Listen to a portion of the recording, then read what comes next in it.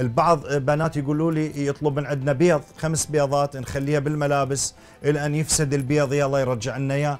هذه مو علاج شرعي هذا. هذه هذا شعوذة ودجل هذا يعني. تعتبر الربطة بالنسبة لها هوية عن ديانتها.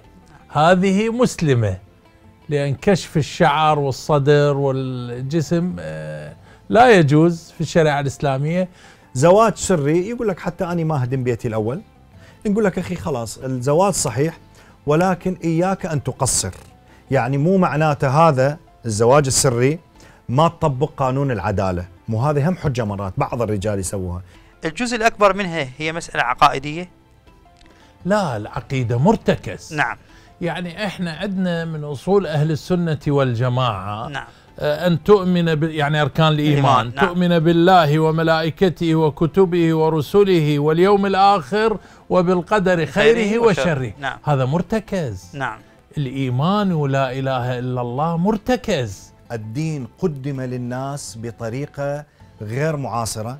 مشوه هذا. وبطريقة مشوهة. نعم. وبطريقة دماء. وبطريقة لا تتواكب مع العصر. حتى إقامة الحد.